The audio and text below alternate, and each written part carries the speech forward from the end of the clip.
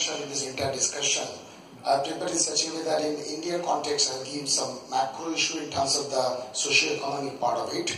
Then I will tell something in terms of the role mindset change required by the HR professionals. Because when talking about the change requirement in the HR as a macro level, retaining manpower in the industry, growth of the industry, the time has come to relook or revisit our own mindset and do something in Indian perspective. The current economic scenario in India, I have jotted down two three points. Economic growth in India is projected to remain robust at around 7.5 GDP growth as compared to the global growth of 3.5%. For that purpose, India is growing very fast and entire world is looking to India presently. India has emerged as the fastest growing economy, major economy of the world as per IMF. India has emerged as one of the strongest performer in terms of deals related to merger acquisition.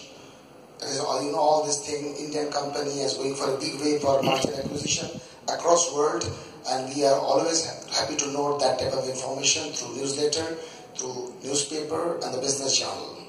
Make in India initiative by the government of government of India aims to boost manufacturing sector in the country. It was a tremendous uh, positive thing initiated by the present government.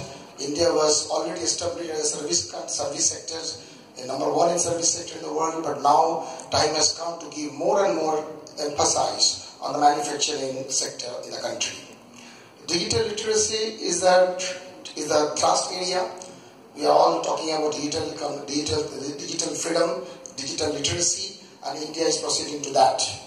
The challenges of Indian economy is to accelerate agricultural growth and rural demands, trade, public and private investments. So with this bank backdrop, the time has come to change role of HR or positively or in the change of mindset of the HR professionals.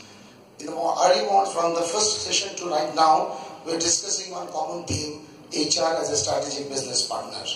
First challenge is the first mindset change required in India. HR work now begins with business, not HR.